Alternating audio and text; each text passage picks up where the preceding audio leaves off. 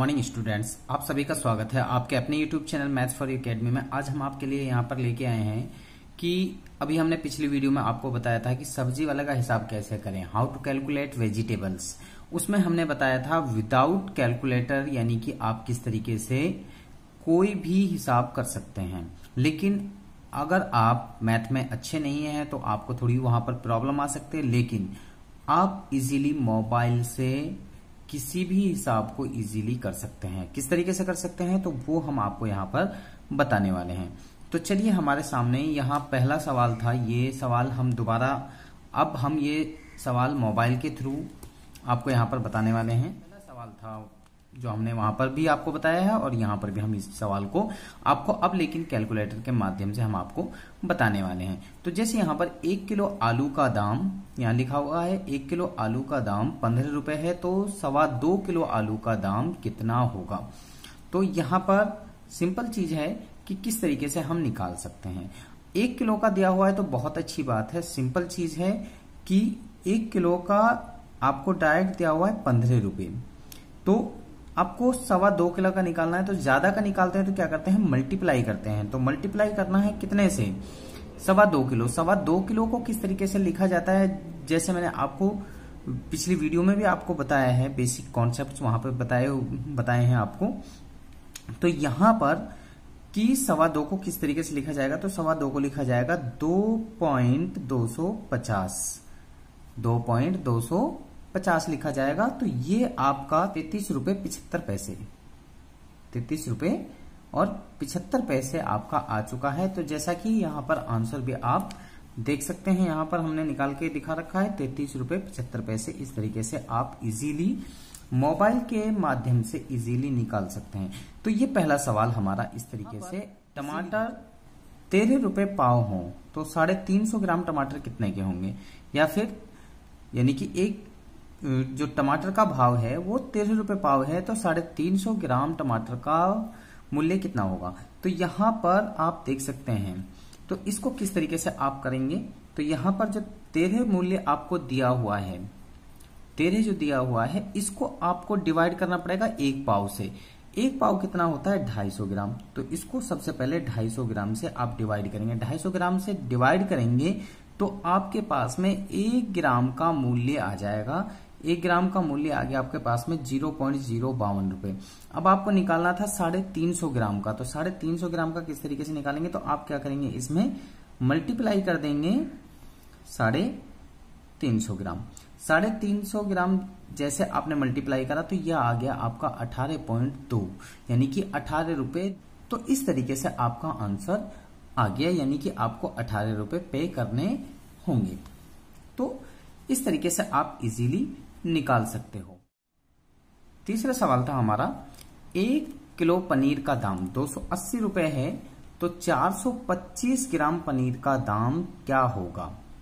तो यहाँ पर हमारे लिए एक किलो पनीर का दाम दिया हुआ है दो सौ अस्सी रुपए। अब आपको 425 ग्राम का निकालना है तो सिंपल चीज़ है, यानी कि एक हज़ार का आपको एक हज़ार ग्राम का 280 दिया हुआ है। तो सबसे पहले आप 280 को डिवाइड करेंगे एक हज़ार ग्राम से। एक हज़ार ग्राम से जैसे आपने डिवाइड किया तो आपका एक ग्राम का मूल्य आ गया ज़ीरो पॉइंट अट्ठाईस। ज़ीरो पॉइंट अट्ठाईस रुपए आपका आ गया एक ग्राम का मूल्य। तो अब आपको 425 का निकालना तो 425 के लिए आपको क्या करना पड़ेगा? 425 से मल्टीप्लाई करना पड़ेगा। जैसे ही आपने मल्टीप्लाई करा तो आपका आ गया एक सौ उन्नीस रुपए तो इस तरीके से आप इजीली इनको निकाल सकते हो। जैसे यहाँ पे आप देख भी सकते हैं एक सौ उन्नीस रुपए इस तरीके से तरीका भी हो सकता है कि आपको रुपीस दिए हुए हैं ग्राम निकालने हैं। रुपीस दिए हुए हैं और ग्राम आपको निकालना है तो किस तरीके से आप ग्राम निकाल सकते हैं? तो जैसे यहाँ पर अगर आपको दो एक किलो पनीर का मूल्य दो सौ अस्सी रुपए दिया हुआ है यहाँ पर आपको एक किलो पनीर का मूल्य दो सौ अस्सी दिया हुआ है।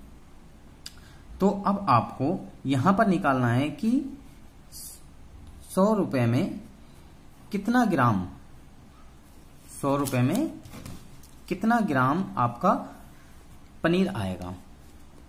दो सौ एक किलो जो है दो सौ अस्सी में आ रहा है, यानी कि दो सौ अस्सी रुपए में एक किलो आ रहा है तो सौ रुपए में कितने ग्राम आएगा? तो इस तरीके के सवाल को निकालने के लिए आपको किस तरीके से आपको ट्रिक लगानी है? तो यहाँ पर आपको करना है एक किलो का मीन्स है एक हज़ार ग्राम। एक हज़ार ग्राम जो है दो सौ अस्सी रुपए का आ रहा था। तो अब यहाँ पर आपको निकालना है, ग्राम निकालना है। तो ग्राम निकालना है तो ग्राम को ऊपर रखना है और रुपीज़ को नीचे रखना है। तो रुपीज़ से ग्राम को डिवाइड करना है तो आपके पास में एक रुपए में कितने ग्राम? एक रुपए में कितने ग्राम आ रहा है? वो आपकी आ जाएगी।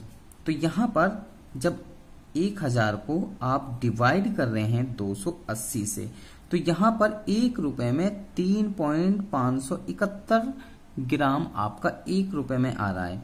तो अब आपका सौ रुपए में कितना आएगा? तो सौ रुपए के लिए आप क्या करेंगे? यहाँ पर सौ रुपए के लिए आप मल्टीप्लाई करेंगे। सौ रुपए के मल्टीप्लाई करने के बाद में आपका आ गया ये आ गया आपका तीन सौ सत्तावन पॉइंट चौदह अट्ठाईस। तो इस तरीके से यानी कि तीन सौ सत्तावन पॉइंट चौदह। तो ये यानी कि आपका इतने ग्राम, तीन सौ सत्तावन ग्राम आपको क्या मिलेगा? यानी कि सौ रुपए का पनीर आपको इतना मिलेगा। तो मुझे उम्मीद है कि इस तरीके के सवाल आपको ये आप इजीली सॉल्व कर सकते हैं।